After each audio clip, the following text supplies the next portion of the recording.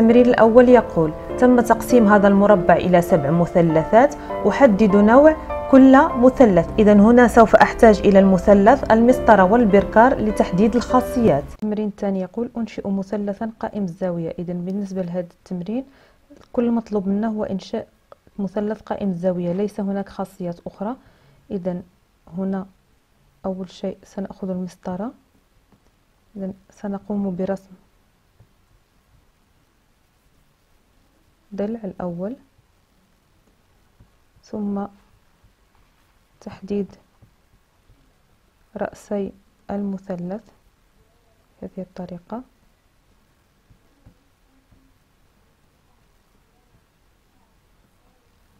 ثم نأتي بالمثلث. إذن كالعادة لرسم مثلث قائم الزاوية يجب أن نستعمل المثلث القائم الزاوية بهذه الطريقة. إذا ونرسم الضلع الثاني.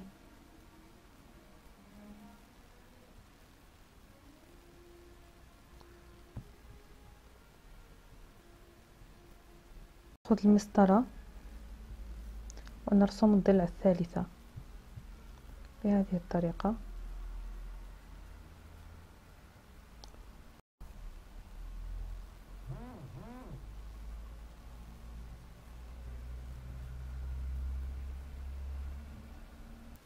إذا هكذا نكون قد رسمنا مثلثا قائم الزاوية.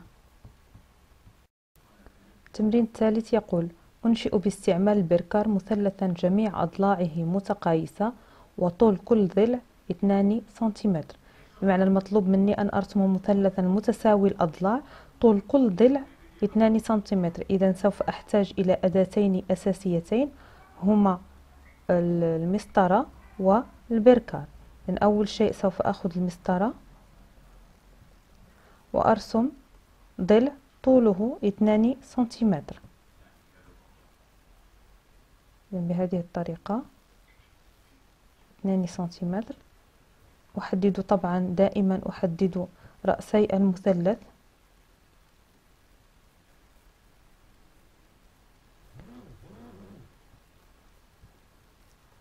الآن آتي بالبركار أضع الإبرة فوق الرأس الأولى. أقوم بتحريك البركار وتحديد فتحة البركار بحيث تساوي الضلع الذي رسمته أولا. يعني أقوم بتحريك البركار طبعا دون تحريك فتحته. وأقوم برسم القوس الأولى. ثم أقوم بتحريك البركار وكالعادة دون تحريك فتحة البركار. ثم أقوم بمحاولة رسم القوس الثانية من أجل الحصول على نقطة. إذا نقطة التلاقي ستكون هي مكان التقاء القوسين إذن سوف آتي بالمسطرة الآن وأصل بين الرؤوس المحصل عليها بهذه الطريقة.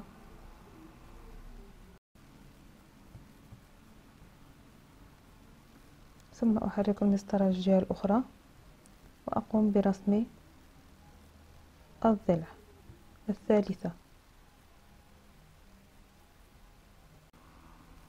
بهذه الطريقة. وهكذا نكون قد حصلنا على مثلث متساوي الأضلاع. تمرين أربعة يقول أنشئ مثلثا بحيث AB قياسه ثلاثة سنتيمتر BC قياسه أربعة سنتيمتر وAC قياسه خمسة سنتيمتر. إذا سوف نحتاج لهذه العملية إلى مسطرة ثم البركار أول شيء سنقوم به سنقوم برسم الضلع AB الضلع AB طوله ثلاثة سنتيمتر.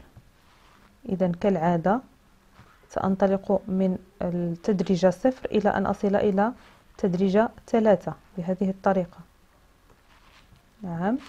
ثم أحدد النقطتين A و B. A و B.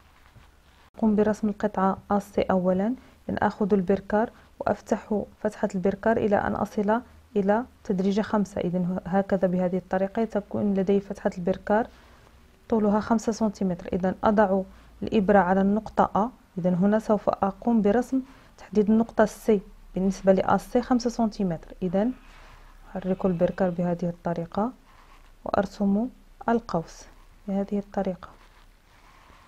الآن سوف أقوم برسم قطعة بسي القطعة بسي طولها أربعة سنتيمتر. إذا كالعادة أضع الإبرة على الصفر. ثم أحرك فتحة البركار إلى أن أصل إلى قياس أربعة سنتيمتر. أخذ الإبرة هذه المرة البركر وأضع الإبرة فوق النقطة B لأنني أحاول رسم قطعة بس الآن التي طولها أربعة سنتيمتر.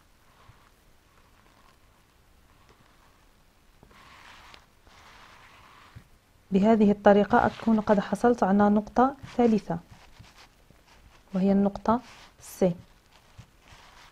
الآن يكفي أن أخذ المسطرة وأن أصل بين النقط المحصل عليها A, B, C.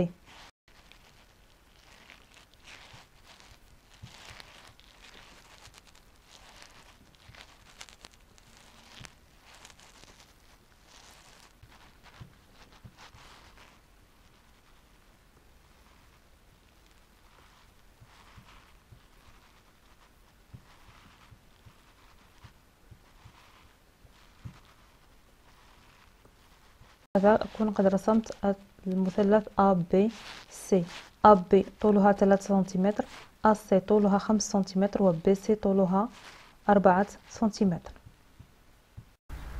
تمرين خمسة يقول أقدر ارتفاع الشجرة علما أن قياس الرجل في الصورة هو 170 سنتيمتر. آه، الشجرة هل طولها ستة أمتار ثمانية أمتار أربعة أمتار أم عشرة أمتار؟ إذا لاحظوا طول الرجل مع بمقارنة مع الشجرة. إذا نستنتج أن طول الشجرة سيكون أربعة متر. بالنسبة للتمرين السادس المطلوب هو إنجاز التحويلات التالية. إذا 4 كيلومتر و50 متر أحولها إلى المتر 10 ديكامتر و7 ديسيمتر أحولها إلى الديسيمتر و600 متر 5 ديكامتر أحولها إلى المتر. كالعادة من أجل إنجاز التحويلات لابد من رسم جدول التحويلات والعمل عليه. تمرين 7 ذهبت الحاجة فاطمة يوم الأحد إلى السوق الذي يبعد ب 750 متر عن البيت لشراء ما يلزم لأسرتها وعند عودتها تذكرت أنها نسيت شراء السمك فعادت مرة أخرى من نفس الطريق إلى السوق. كم مرة قطعت الحاجة فاطمة المسافة الفاصلة بين البيت والسوق؟ هل هي مرتين ثلاث مرات أم أربع مرات؟ ما المسافة الإجمالية التي قطعتها الحاجة فاطمة بالكيلومتر؟ إذا الحاجة فاطمة ذهبت المرة الأولى إلى السوق ثم عادت. إذا هنا لدينا مرتين. ثم عند عودتها إلى المنزل تذكرت أنها نسيت شيئا ما. فرجعت مرة أخرى إلى السوق ثم عادت من السوق.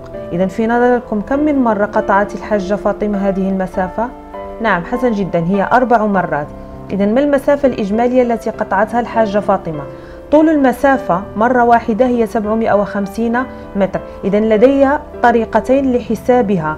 إما أن أستعمل عملية الضرب أو الجمع المتكرر. إذا 750 مرة آه عفوا 750 متر تكررت أربع مرات. إذا للتعبير عنها بعملية الضرب سأقول 750 ضرب 4 وإذا أردت أن أستعمل الجمع سأجمع 750 متر أربع مرات. إذا 750 زائد 750 زائد 750 زائد 750 تساوي 3000 متر. عند وضع 3000 متر في الجدول ولأن السؤال الأخير طلب مني حساب المسافة الإجمالية التي قطعتها الحاجة فاطمة بالكيلومتر إذا سأحول 3000 متر إلى إلى الكيلومتر. إذا سأحصل على 3 كيلومتر. وبالتالي فإن الجواب سيكون هو 3 كيلومتر.